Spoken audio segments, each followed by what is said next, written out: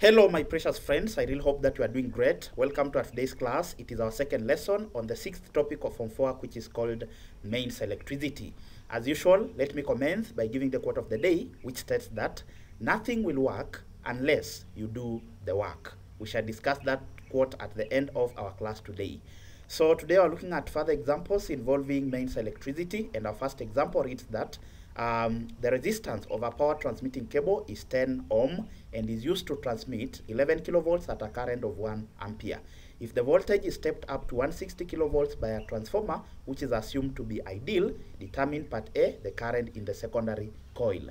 Remember, ideal transformer simply means that uh, for such a transformer, the power input is equals to the power output, and therefore, such a transformer is assumed to have an efficiency of 100%.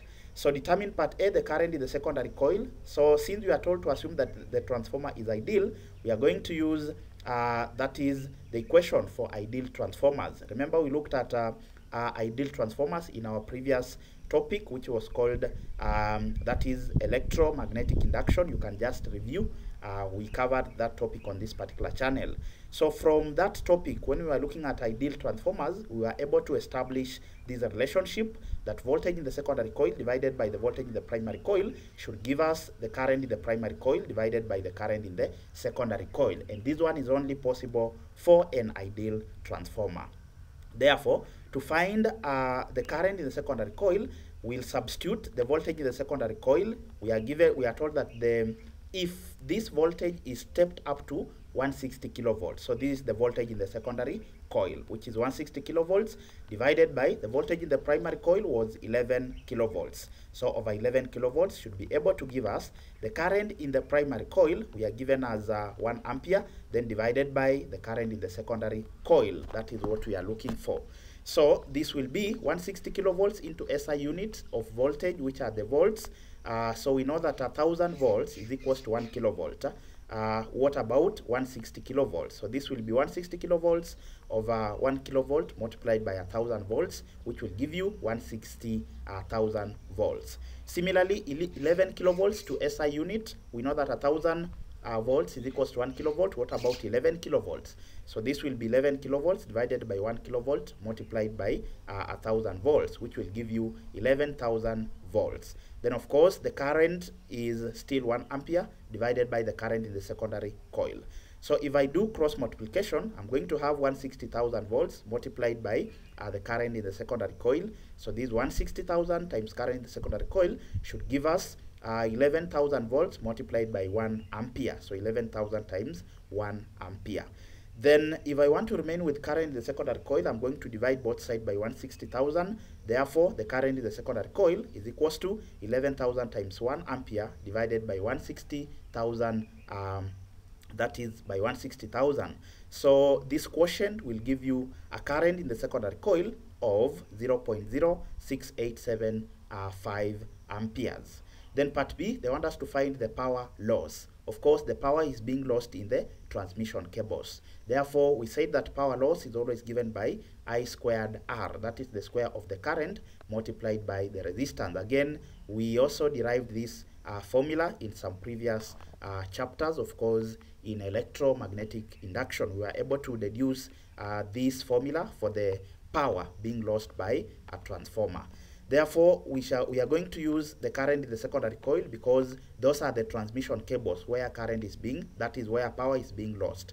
So the square of the current in the secondary coil, which is um, 0.06875 uh, amperes, then multiplied by the, the resistance uh, of that particular transmission cable, which is 10 ohms, so times 10. So if you take 0.06875 uh, squared times 10, you are going to get a power loss of 0.047 27 watts. So that is the power being lost in those transmission cables.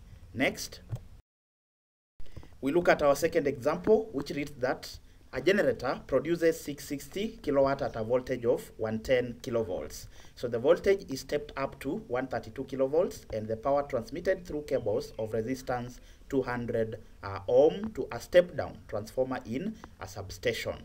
Assuming that both transformers are ideal, calculate part A, the current produced by the generator, the current produced by the generator. So for the generator, we are given the uh, its power, which is being produced, which is 660 kilowatt. Then we are also given the voltage of 10 uh, kilovolts. So when given the power and uh, the voltage, you can actually find the current. So remember we said power can be given by VI. This is again a formula that we derived from a given form 3 topic which was called heating effect of electric current. You can again review that particular uh, chapter to see how we arrived at these particular formulas. It's just a chapter under form 3 work in this particular channel. So from power is equals to VI, we can be able to establish that if we make current subject of the formula from P is equals to VI, we'll have current being equal to power over voltage. So since we are given the power in the primary coil or of, or of the generator, we are also given the voltage of the generator. Therefore, the power in the primary coil must be equal to the power, that is the current in the primary coil must be given by the power in the primary coil divided by the voltage in the uh, primary coil. So the power in the primary coil we are given as one uh, 660 kilowatt divided by the voltage in the primary coil we are given as uh, 10 kilovolts. So to convert each quantity in its respective SI unit, we know the SI unit for power is the watt. Then we know that a thousand watt is equals to one kilowatt. Uh, what about 660 kilowatt? So that will be 660 kilowatt over 1 kilowatt multiplied by 1000 watt. So this will give us uh, 660,000 watt as the power in its SI unit. Similarly, 1000 volts is equals to 1 kilovolt. What about 10 kilovolts? So this will be 10 kilovolts over 1 kilovolt multiplied by 1000 volt, which will give us uh, 10,000 uh, volts, which is the voltage in its SI unit. So if you compute the quotient, that is 660,000 watt divided by uh, 10,000 volts, you are going to get a current of 66 amperes as being the current produced by the generator. Then uh, part B of the question, that is Roman 2, they want us to find the current that flows through the transmission cables. In short, they want the current in the secondary coil. So because we are told the transformer uh, both transformers are ideal, it simply means that the efficiency is 100%. Therefore, we can use the relationship voltage in the secondary coil divided by voltage in the primary coil should give us the uh, current in the primary coil divided by the current in the secondary coil. So voltage in the secondary coil, uh, we, are, we are given as 132 kilovolts. In its SI unit, it will be 132 kilovolts over 1 kilovolt multiplied by 1000 volts, which will give you 132,000 volts. Then the voltage in the primary uh, coil, we were given the voltage to be 10 kilovolts. So in SI unit, that will be 10 uh, kilovolts over 1 kilovolt multiplied by 1000 volts, which will give you 10,000 volts as the uh, voltage in the primary coil. Then the current in the primary coil, we were given, uh, we have already computed it here in part A, which is 66 amperes divided by the current in the secondary coil. So on uh, cross multiplication and dividing both side by uh, multiplying both side by 66 you'll get the current in the secondary coil as being 66 multiplied by 10,000 divided by 132,000 so this will give you the current in the secondary coil as being 5 amperes. Then roman that is roman uh, 3 we are told to find the voltage drop across the transmission cables or in short we want to find the voltage in the secondary coil which is that is the voltage that dropped in the transmission cables. So voltage is equals to current multiplied by resistance that is from the ohm's law v is equals to ir so the current actually in the transmission cables is just the current in the secondary coil which is uh, 5 amperes multiplied by the voltage in the transmission cables or in the secondary coil. We were given the resistance in those transmission cables as being 200 ohm Therefore, the voltage in the transmission cables will be current in the transmission cables multiplied by resistance in the transmission cables, which is 5 amperes times 200 ohm, which will give us 1000 volts as the voltage in the secondary coil or the voltage in those particular, uh, that is the voltage in the transmission uh, cables. Then uh, Roman 4, they want us to find the power lost during transmission we say that power loss is equals to I squared R, that is the square of the current multiplied by the resistance. So because the power is being lost in the transmission cables, we'll use the current in the transmission cables multiplied by the resistance in those particular transmission cables. So the current in the transmission cables, which is the secondary current, is 5 amperes from here.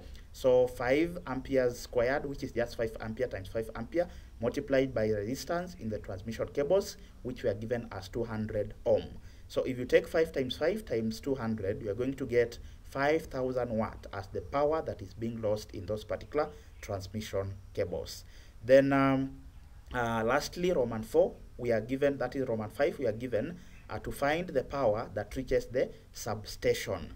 So the power that reaches the substation will be the power generated by those particular generators minus the power that is lost in this particular transmission cables. So the power in the substation will be the power generated minus the one that has been lost on the way through those uh, through the resistance in the transmission cables. So power generated minus power lost. The power generated you have already uh, given on the question as 660 kilowatt, which in SI unit will be 660,000 watt. So you just take 660 kilowatt over 1 kilowatt times a thousand a watt, which will give you 660,000 watt. Then the power lost, we have already computed it here in Roman 4 as 5,000 watt. So the difference between 660,000 watt minus 5,000 watt, you'll get 6, uh, 655,000 watt as the power that is being, uh, that, that is getting to those, uh, the local substations. Then lastly, I have an exercise that I recommend you should try at your own free time to get the understanding of the concept that you have just learned. Of course, if you have any problems in handling any of the questions, feel free to drop a comment specifying the question that you need help in. And as usual, I'm always here to try and help where possible. So we've come to the end of our class today, but we need to discuss the quote of the day. The quote of the day stated that nothing will work unless you do the work. So the quote is reminding us that no matter how big you dream, no matter how well you plan, no matter how well you strategize, no matter how many personal study timetables you create, no matter how much talented you might seem to be, if you don't take action and do the work, nothing is going to work. Therefore, we should train ourselves to always take action in every circumstance and avoid giving excuses and complaining uh, about everything. Remember, even if you create a very good study timetable, but if you don't follow that particular timetable strictly, then you are not going to achieve your dreams. Therefore, you have to take action in every circumstance and avoid giving excuses and complaints.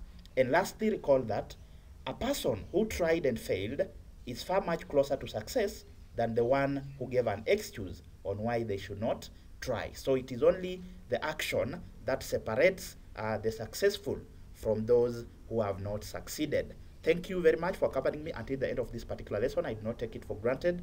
In case you are new to the channel, kindly hit the subscription button and also turn on the notification bell so that whenever I upload a new video, you'll get notified. Until next time, this is Kind Tuition Academy. Thank you very much.